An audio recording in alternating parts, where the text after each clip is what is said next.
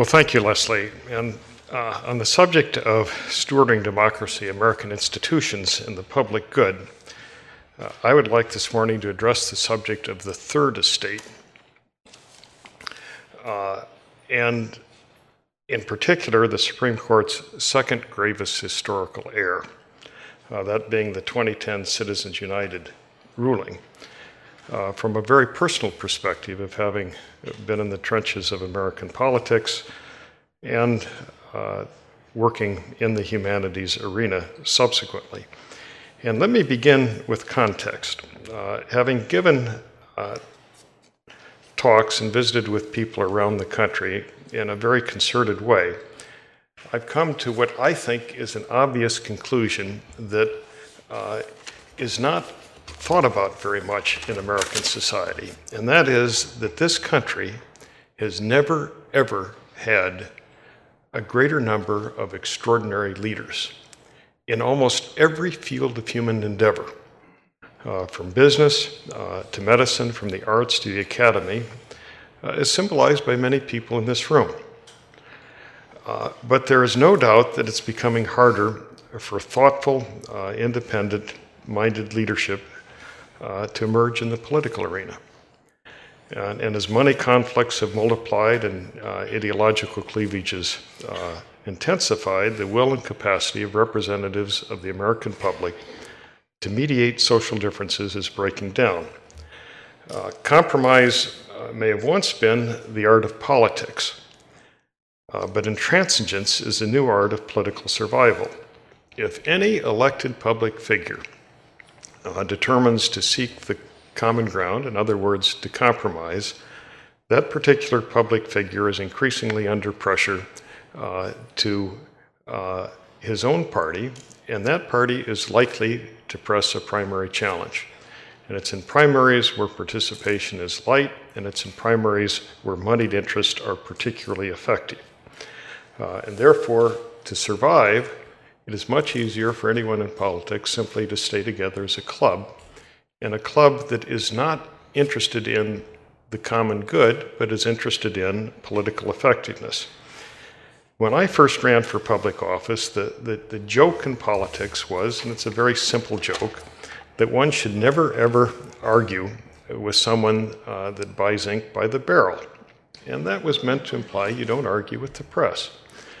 Uh, today, the not so funny corollary would be that a wise politician should never ever argue with anyone who buys ads by the bushelful. Uh, and likewise, a candidate who wants to win at all cost is advised by every political consultant of all political stripes to go negative and to throw civility out the window. Now, to be clear, uh, civility itself has very little to do uh, with manners, so though, though it may in most cases have an implication of good manners.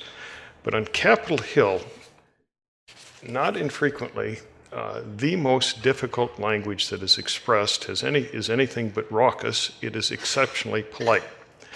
And so, for example, uh, every day members uh, wander, every working day that is, members wander over to the House floor back and forth Along the way, they bump into very well dressed, very uh, uh, uh, well mannered people who have conversations like, uh, Congressman, as you know, we maxed out with you in, in, the last election. We want to more than do that in this next election with a greater collection of, of friends.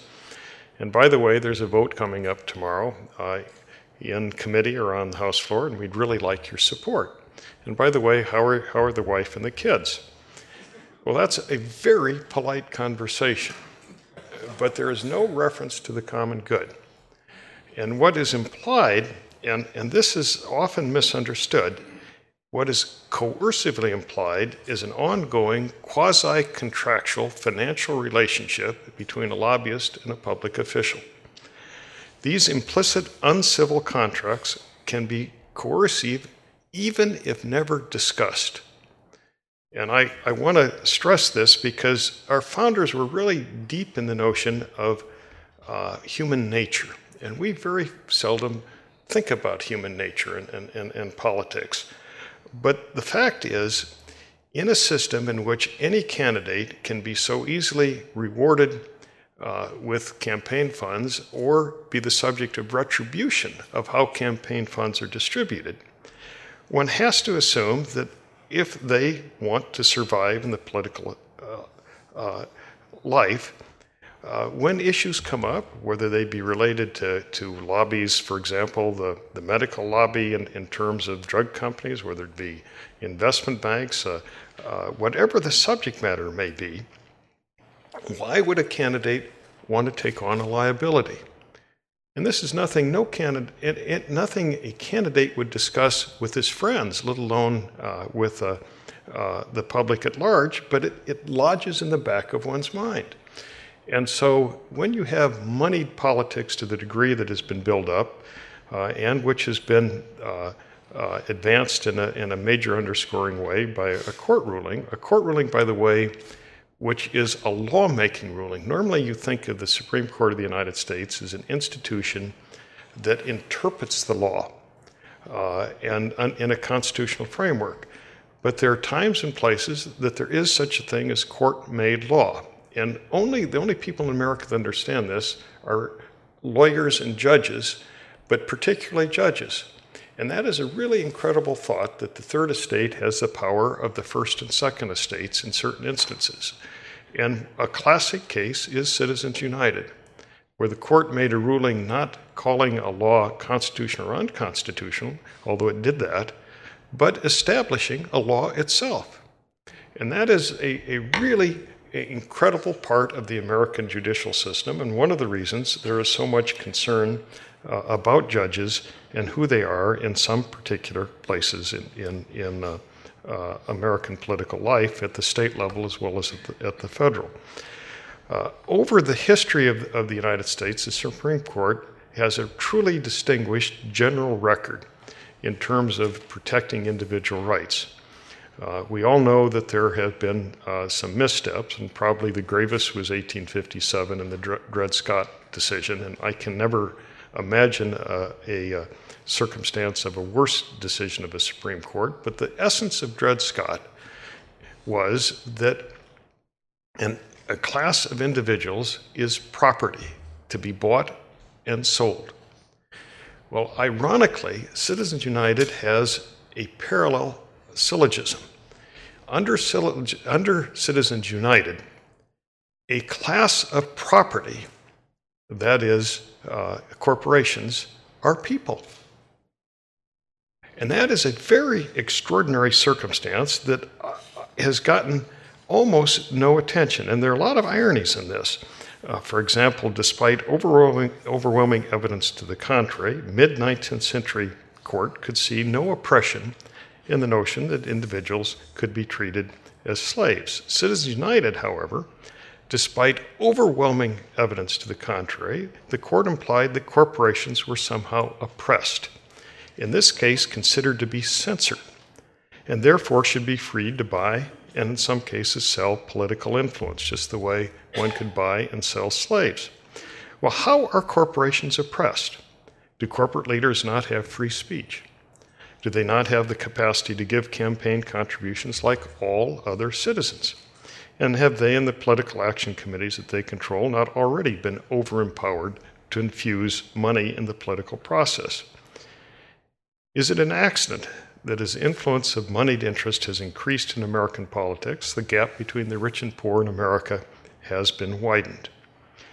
To advance the sophistic argument that more money in campaigns is more democracy, the court had to imply a linguistic gyration. It presumed that money is speech and that a corporation is an individual. But my institution is accountable uh, for dealing with a wide variety of, of, uh, of American humanities, humanities scholarship, from history and literature and philosophy to jurisprudence and linguistics. And I, I just ask you, where in any dictionary, this is a linguistic question, where in any dictionary or in any founding document are equivalencies made about money and speech and corporation and individual? In pejorative jargon, jargon, money may talk, but precisely defined, money is a medium of exchange, a measure of value, or a means of payment. In the manner it is used in politics, it can be considered a campaign contribution. It is not speech in terms of what any strict constructionist could conceivably believe the First Amendment addresses. A corporation is an artificial creation of the state, which in turn is a creation of the people. To vest with constitutional political rights an inanimate entity makes mockery of our individual rights traditions. While corpora- corporations are a legal fiction, as a legal fiction, have been given analogous status to individuals in certain commercial law, citizenship rights are very different. A corporation can't vote or run for office. The inspiring words of our founders were about free men born with inalienable rights. It is they who speak, it is they who can assemble, it is they who are considered equal amongst each other. To hold that a corporation is a person with citizenship rights simply doesn't square with the Declaration of Independence. All men may be created equal in relationship to each other, but not necessarily in relation to corporations or under Citizens United in relation to how corporations may empower some individuals relative to others. There is great inequality between corporations, no equality of individual and corporate personhood, and no equality of individuals when one with many corporate ties may have more capacity to influence decision making than one with none or few. Multiple personality disorder may from time to time seem to describe a candidate in regard to stances taken, but it never was intended to define the political system itself. More money is not more democracy. Corporate larceny is also at issue, as are democratic values. To presume that corporate money can be considered as speech or construed as speech, that speech for many will be coerced rather than free.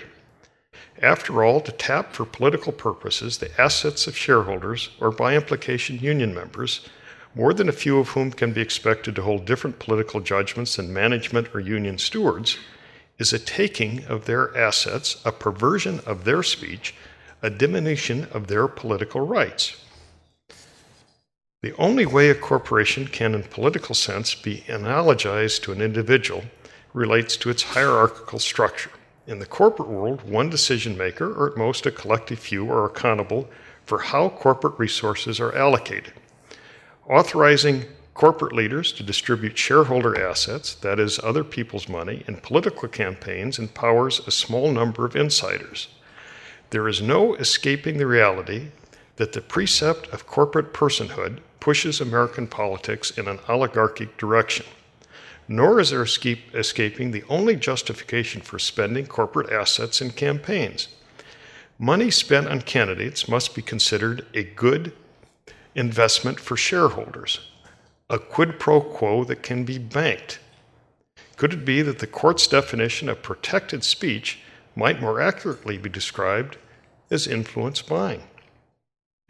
At our country's founding, propertyless people, as well as women and slaves, were denied the right to vote and there is an original constitutional acceptance that slaves should be considered three fifths of a person for legislative and electoral college apportionment. But none of our founders ever advanced the notion that one individual could be several persons and have magnified influence based on control of corporate assets. The arc of our history that has been bent toward justice has suddenly, with Citizens United, twisted back to that part of our constitutional heritage that was self evidently unjust. Property considerations have again become accentuated in a key aspect of citizenship, the injustice of which weakens the link between government and the people. Corporate politics has several other ramifications of a different dimension than our founders considered. When our constitutional system was established, the founders assumed that individuals elected to Congress would come from many different backgrounds and they would be prepared to represent vigorously their state its interest, and its people. A consequence of the court enhanced corporatist power is the nationalization of local elections. Candidates across the country become indebted to the same corporate interest groups. For state candidates in in, in let's for farm state candidates, for example, and I represented such, campaign contributions come in one political party from groups like oil companies and the other from groups like uh, unions, many of which are out of state, and often neither set of interests have anything to do with the people one is seeking to represent. And so you have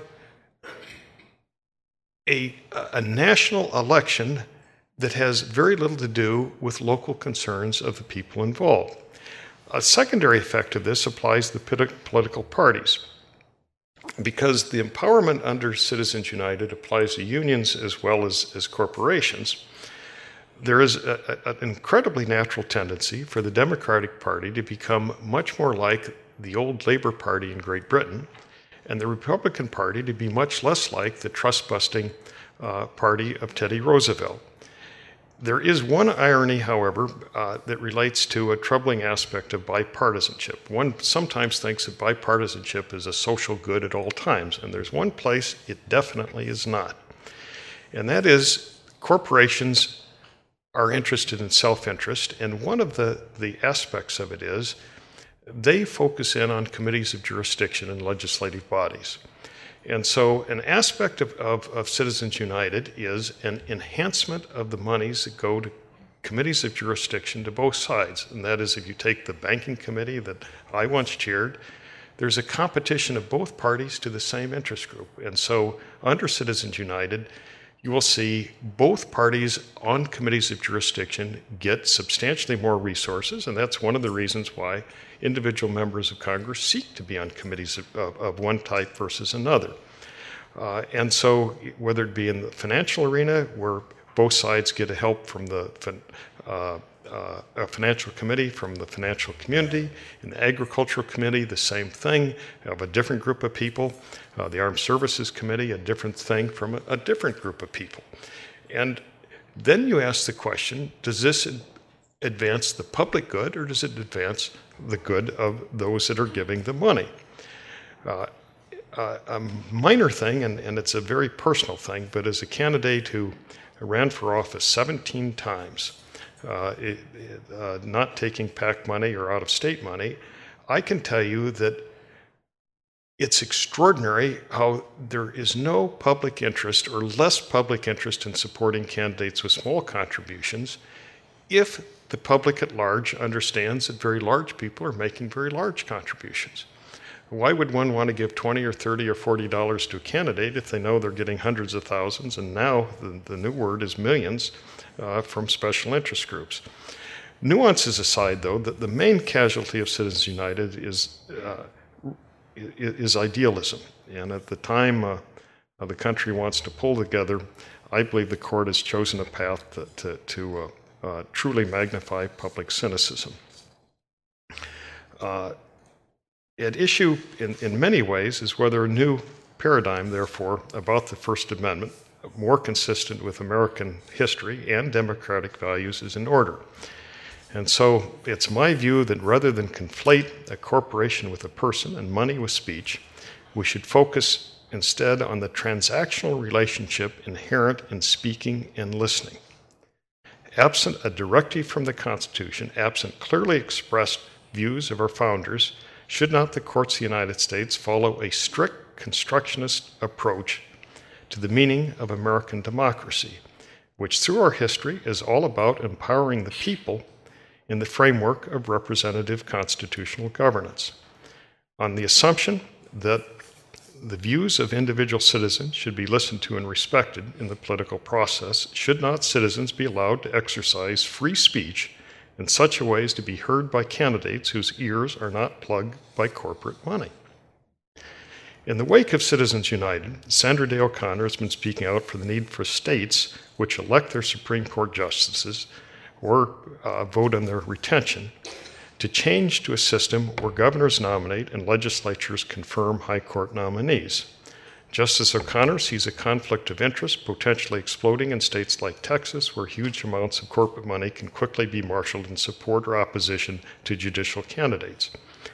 Well, I share Justice O'Connor's concerns, but would add that the goal of advancing equal justice under the law applies just as much to the making and administrating of laws as it does to their adjudication in a courtroom. Indeed, the objective of advancing equal justice begins in the first and second estates before it becomes the responsibility of the third estate, where judges, generally speaking, are tasked with interpreting and enforcing rather than making law, although the making occurred in the Citizens United case. The standard of judiciousness in the making of law is fairness. while the standard of judiciousness in the adjudication of law is allegiance to the letter of law and its constitutional framework. Hence, from an equal justice perspective, the judiciary should be acutely concerned about lawmaking that empowers deep pocketed corporations to the detriment of the common good. No judge should be placed in the position of having to uphold patently unfair laws designed to appease corporate power brokers to which legislators or elected executives may be indebted. In this circumstance, public confidence in the judicial as well as the legislative and executive branches of government is jeopardized. A citizenry simply cannot be expected to have confidence in a judicial system in which the standard becomes equal application of unfair laws. Equal justice requires that the law itself be fair. Many are familiar with the saying, sometimes attributed to Bismarck, that the public should not look too closely at laws or sausages being made. Law and sausage making are different, but the commonality is public concern that the seen and unseen ingredients of each be integrated in as clean a manner as possible. In America, process is our most important product. Our founders recognized human frailty and thus went to great lengths to attempt to erect a system that would be democratic rather than aristocratic or oligarchic. Individuals could be expected to make mistakes, but the political system was to be above repro- reproach, capable of evolving in ever fairer, more egalitarian ways. Many very good people enter politics only to find that the system causes the low road to become the one most traveled. Politicians routinely develop conflicts that do not technically rise to a legal standard of corruption because legislated law and now judicial fiat have weakened that standard. The low road is traveled because, because it is the shortest path to office and justified because the other contenders generally stampede alongside, although increasingly far from the center stripe. If a candidate chooses less conflicted route or few traveled, the likelihood that candidates will come up short is very high. Speech is thus at issue from two perspectives. At one end, uncivil speech must be protected by the court, but filtered by the public. In the other, moneyed speech must not be allowed to weaken the voices of the people. The Constitution begins, we the people, not we the corporation. Thank you.